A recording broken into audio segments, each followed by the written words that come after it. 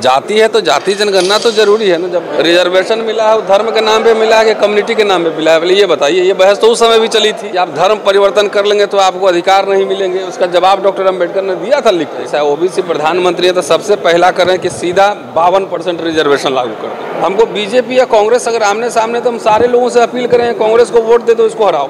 सरकार ही डरा हुआ है। हर बात पे भावना हाथ हो जाती है तुम्हारी। पुरानी इनकी परंपरा है। एक को आगे राजा बनाओ उसी से सबको खत्म करवाओ कि अडानी का पैसा नहीं अडानी कमीशन पे काम करता है सारा मोदी का पैसा है।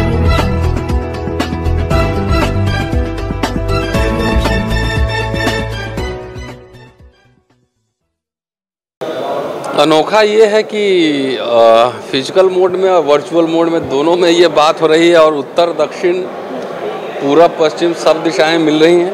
और इसमें सारे तमाम आप, मुझे लगता है, एक दर्जन से ज़्यादा पार्टी के लोग इसमें रहे हैं और कई सीएम डेप्यूटी सीएम भी यहाँ पे रहे हैं। और उससे भी इम्पोर्टेंट बात यह है कि आपने देखा होगा कि उसमें जो लिखा हुआ है संगठन का नाम, ये सामाजिक संगठन इतना जो आंदोलन कर रहे हैं, इतने दिनों से लगातार इस मसले को उठा रहे हैं। अच्छी बात है कि अब पॉलिटिकल क्लास इसको लेकर सीरियस हो रहा है और पॉलिटिकल क्लास अब आर पार के मूड में नज़र आ रहा है और सिर्फ़ कास्ट सेंसस को ही लेकर नहीं कास्ट आपने देखा होगा, बातचीत चली होगी रिजर्वेशन को लेकर रिप्रेजेंटेशन को लेकर जो एट्रोसिटीज़ हो रहे हैं specially schedule caste schedule tribe and minorities उस पर जो एट्रोसिटीज़ हो रहे हैं और जिस तरह से अडानी का रातों रात बढ़ रहा है, संपत्ति या निजीकरण तमाम पहलुओं पर बात हुई है तो जाति जनगणना होगा तो पता लग जाएगा ना किसके पास क्या है, कौन किसका हक खा रहा है हुँ? जाति है तो जाति जनगणना तो ज़रूरी है ना जब भेड़ भेड़ बकरी की गिनती हो रही है पेड़ पौधों की गिनती हो रही है शेरों की गिनती हो रही तो इंसान तो इंसान है जाति तो सच्चाई है। तो रोक कौन रहा है जातिगत सरकार रोक रही है बीजेपी सरकार आ रहे से सुप्रीम कोर्ट में हलफनामा दिया आपको नहीं पता है?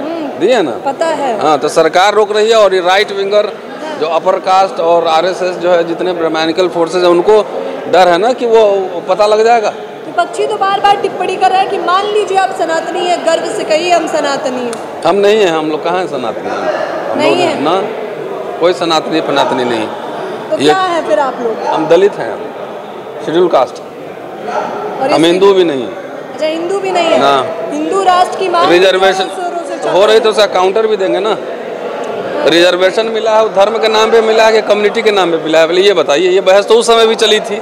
जब धर्मांतरण की बात हुई थी डॉक्टर अंबेडकर के तो लोग बड़गला रहे थे लोगों को कि आप धर्म परिवर्तन कर लेंगे तो आपको अधिकार नहीं मिलेंगे। उसका जवाब डॉक्टर अंबेडकर ने दिया था लिख के कि ये आरक्षण जो प्रतिनिधित्व मिला है, कम्युनिटी के आधार पर मिला है, धर्म के आधार पर नहीं मिला। है इसलिए शेड्यूल्ड कास्ट है शेड्यूल में डाला हुआ कास्ट है। शेड्यूल्ड ट्राइब है। तो शेड्यूल ट्राइब और शेड्यूल कास्ट कोई धर्म से इसका कोई लेना देना नहीं। सर, एक चीज़ और है, सर, यहाँ पे इतने विपक्ष के नेता एकजुट होकर वर्चुअल संवाद किया वर्चुअल कॉन्फ्रेंस हुई। तो सर, क्या लगता है दो हज़ार चौबीस सभी पूरे विपक्ष एकजुट होकर लड़ पाएगा हम लोग तो चाहते हैं कि लड़ें। हम लोग चाहते हैं लड़े, और ये आर एस एस बीजेपी से मुक्ति मिले, देश को, हमें ही नहीं, देश को मुक्ति मिले। लड़े, और मुझे लगता है कि बेहतर शुरुआत है। कम से कम एक मंच पर सारे लोग आज नज़र आए हैं। आप देख लीजिए, कश्मीर से भी थे, फारूक अब्दुल्ला साहब थे, स्टालिन भी थे अशोक गहलोत थे, तेजस्वी यादव, अखिलेश यादव, अब सब सोशल जस्टिस की बात तो कर रहे हैं ना। ये जो कन्फ्यूज़न जो फैला हुआ था, और डर था, देखिए, पहले schedule caste Muslim vote matter करता था। आजकल तो ऐसा हो गया है कि शेड्यूल कास्ट कोई वोट ही मांगने नहीं जाता है। अब ब्राह्मण वोट मैटर कर रहा है। सब ब्राह्मण से ही वोट मांगने जा रहा है। तो भाई, इस देश में अगर ब्राह्मण हो, ठाकुर हो कायस हो, कोई भी हो बैकवर्ड हो शेड्यूल कास्ट इस देश में अगर सोशल इनजस्टिस हुआ है तो सोशल इनजस्टिस का बांग्लादेश वाला ने किया है या नेपाल ने किया है कि पाकिस्तान ने किया कि चाइना ने किया इसी देश के लोगों ने सोशल इनजस्टिस किया है ना? तो मांगा तो अधिकार यहीं जाएगा जब मांगा जाएगा तो थोड़ा टसल तो बढ़ेगा ही टेंशन बढ़ेगा। तो इसीलिए बीजेपी जो है ना उस जाति जनगणना कराने से डर रही जबकि ओबीसी प्राइम मिनिस्टर यही लीला है आरएसएस अच्छा संबित पात्रा जी कह रहे हैं कि ओबीसी समाज चिंता में है जिस तरह से राहुल गांधी ने टिप्पणी कर दिया चोर बता दिया ओबीसी समाज किसको? ओबीसी समाज को संबित अच्छा। पात्रा जी कह रहे हैं। नहीं तो ऐसा ओबीसी प्रधानमंत्री है तो सबसे पहला करें कि सीधा बावन परसेंट रिजर्वेशन लागू कर दें। क्या दिक्कत है? कि सम्मित पात्रा एक ओबीसी नरेंद्र मोदी वो भी 2002 में ओबीसी बने हैं दो चार के आसपास। तो वो जो है वो पूरा ओबीसी हो गया। ओबीसी क्या? को आप वोट ही नहीं देना चाहिए आप लोगों को। ओबीसी एक नहीं नहीं हम तो कह रहे हैं कि बीजेपी जहाँ पे वो सारे S C S T OBC मुसलमान मिलके कांग्रेस को वोट दे दो। हम उल्टा कह रहे हैं जितने हक मिले हैं एस सी को या ओबीसी को ये आरएसएस भाजपा ने दिलाए हैं कि पहले की सरकारों ने जिसमें से ज़्यादातर समय कांग्रेस रहा रिजीम उसने दिलवाए हमको बीजेपी या कांग्रेस अगर आमने सामने तो हम सारे लोगों से अपील करें कांग्रेस को वोट दे दो इसको हराओ। तो आप कह रहे हैं राहुल गांधी के साथ जो हुआ क्या वो गलत है? कि- क्या कौन सा क्या हुआ? जो उनकी संसद पद की सदस्यता चली गई एकदम एकदम गलत है। हाँ, एकदम गलत हो। डर सरकार डर गया। सरकार ही डरा हुआ। हाँ। हर बात पे भावना हाथ हो जाती है तुम्हारी। कैसी तुम्हारी भावना है?